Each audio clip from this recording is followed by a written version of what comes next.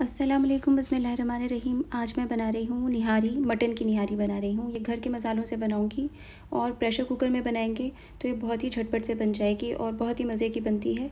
तो इसके लिए पहले मैं पोटली बनाऊँगी इसकी और निहारी का मसाला बनाऊँगी। तो अभी मैं पहले निहारी का मसाला बना रही हूँ। इसके लिए मैंने यहाँ पर अजवाइन ली है आधी टी स्पून काली मिर्च, ज़ीरा, सौंफ और स्याह ज़ीरा। ये सब चारों मैंने एक एक टीस्पून लिए हैं। ये आधी टीस्पून अजवाइन है। काली मिर्च ऑफ़ ज़ीरा, स्याह ज़ीरा है ये, एक एक टीस्पून है और ये जो खड़ा धनिया है ये मैंने एक टेबल स्पून लिया है। इसके अलावा मैंने बड़ी इलायची ली है, एक हरी इलायची मैंने तीन ली है, लौंगे चार और ये पीपली है।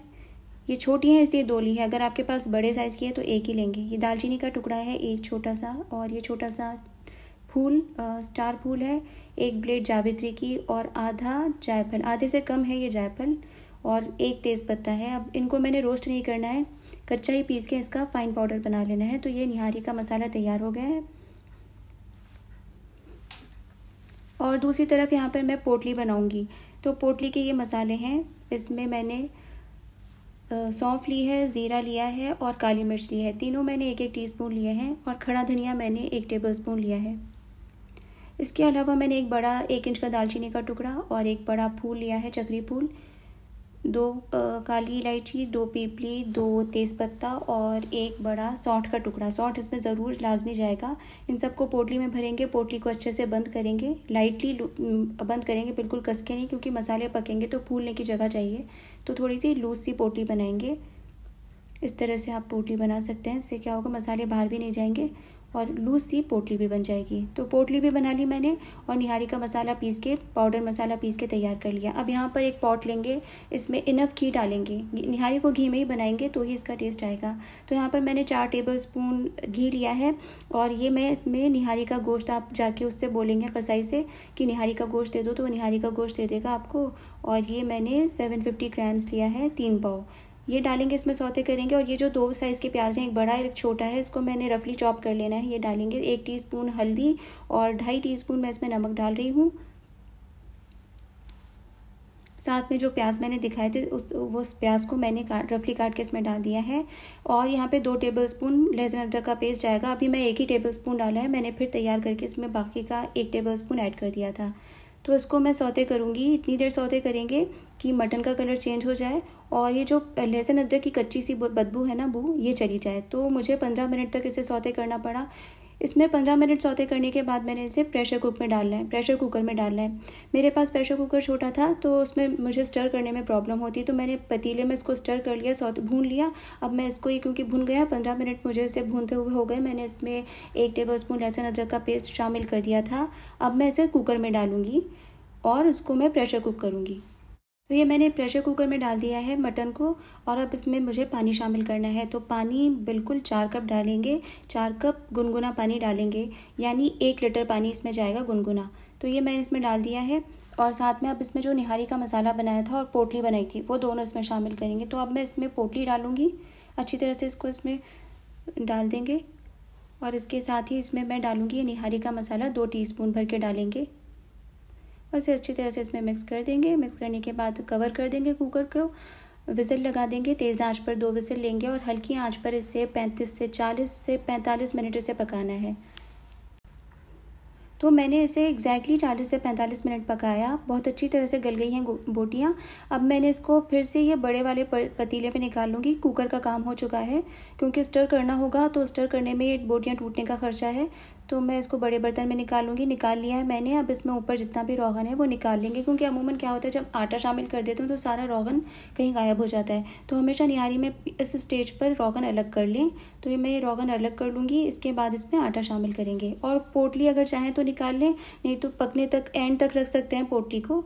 तो मैंने पोटली निकाल ली। अब यहाँ पर मैंने दो टेबल स्पून दही लिया है। इसे मैं अच्छी तरह से फेंट लिया है मैंने। और इसमें अब मैं आटा डालूँगी।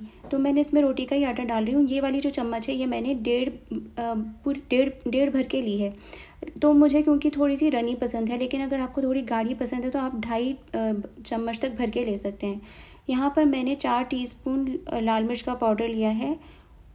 और साथ ही में ये जो निहारी का मसाला है, ये मैं सारा डाल दूँगी। सिर्फ़ मैं एक चम्मच थोड़ा सा बचाऊँगी बघार के लिए, ऊपर से थोड़ा सा डालने के लिए। एक चम्मच के करीब थोड़ा बचाऊँगी। बस ये हो गया है। अब मैं इसमें पानी डालते हुए इसको मिला के इसका घोल सा बना लूँगी ताकि आटे में कोई लम्स नहीं रहे। और घोल बनाकर अब मैं इसको निहारी में शामिल करूँगी। तो यहाँ पर मुझे थोड़ी मिर्च कम लग रही थी, क्योंकि मिर्च मैंने बिल्कुल डाली नहीं थी। मिर्च मिर्च आपको बाद में ही डालना है, तभी इसमें मज़ा आता है। मिर्च को पहले पका लेते हैं तो निहारी में मज़ा नहीं रहता तो मैंने थोड़ी और एक्स्ट्रा मिर्च डाली, मिर्च का पाउडर डाला और पानी डाल के अच्छा घोल बना लिया। अब इसमें उबलते हुए मैंने निहारी चढ़ा दी थी। तो निहारी पक रही है। इसमें मैं अब ये घोल डालूँगी और लगातार हिलाते हुए इस तरह से घोल डालना है, चम्मच चलाते हुए। नहीं तो क्या होगा कि पकते हुए में ये आटा पकने लगेगा और आटे आटे की गुठलियाँ पड़ जाएँगी। तो इसको हिलाते हुए इस तरह से एक हाथ से डालते रहें, एक हाथ से हिलाते रहें और इस तरह से इसको डालेंगे।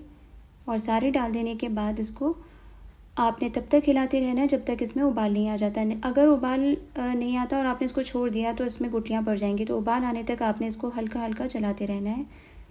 और मिर्च का तो मैंने बताया कि मिर्च आपने इसी स्टेज पर डालनी है, पहले नहीं डालनी है तो इसका अलग ही जायका आता है। तो अब इसको उबालें, उबाल लेंगे इसमें। तो ये देखें, इसमें उबाल आ गया है। अब उबाल आ जाने के बाद इसकी आँच हल्की करेंगे और इसे कवर करके रख देंगे। एग्जैक्टली exactly आपको आधे घंटे तक इसे पकाना है। अब अगर आपने इसे नहीं पकाया तो क्या होगा, जो आटा डाला है वो कच्चा रह जाएगा और निहारी सड़ने के बहुत ज़्यादा चांसेस होते हैं। तो ये आटा डालने के बाद पकाना ज़रूरी है आधे घंटे। ये पकाएँगे और ये आधे घंटे मैंने पका लिया। अब इसमें थोड़ा मैं नींबू का रस डालूँगी, एक नींबू का रस डालूँगी। अब ये बन गई है, इसका बघार लगाएँगे। तो जो रोगन निकाला था वो भी आप बघार पे इस्तेमाल कर सकते हैं। मैंने दूसरा घी लिया है जिसमें मैंने प्याज फ्राई किए थे वो। दो टीस्पून लाल मिर्च का पाउडर और बचा हुआ निहारी का मसाला डाला। साथ में तली हुई प्याज डाल के थोड़ा सौते किया और ये बघार तैयार है, इसे इसके ऊपर डालेंगे। और निहारी की फाइनल गार्निशिंग भी तैयार हो गई है। और जो रोगन बचा के रखा था, वो भी आपने क्या करना है, जब सर्व करते टाइम आप डाल सकते हैं ऐसे स्टेज पर भी डाल सकते हैं। आप देख सकते हैं इसमें काफ़ी रोगन है तो मुझे ज़रूरत पड़ी नहीं वो डालने की। हाँ फिर भी मैंने, क्योंकि बहुत अच्छा खुशबूदार रोगन था वो तो मैंने गार्निशिंग करते वक्त, जब सर्व करते वक्त मैं थोड़ा थोड़ा सा वो शामिल कर दिया था। तो ये देखें निहारी बन गई है थोड़ी रनी है ये। ये क्या होता है जब ठंडी होती है तो बहुत गाढ़ी होने लगती है। तो मैंने अभी इसी स्टेज पर थोड़ी पतली दिख रही है लेकिन जब ये ठंडी हुई थी तो, तो बहुत गाढ़ी हो गई थी। मतलब इतनी गाढ़ी जितनी ज़रूरत होती है। तो बस ये निहारी बन गई है। अलहमदिल्ला इसे गार्निश करेंगे और शीरमाल के साथ इसे सर्व करें। शीरमाल की रेसिपी ऑलरेडी चैनल पर अपलोडेड है तो आप उससे गो थ्रू कर सकते हैं और इसका मज़ा लें। अलहमदिल्ला निहारी बनकर तैयार है।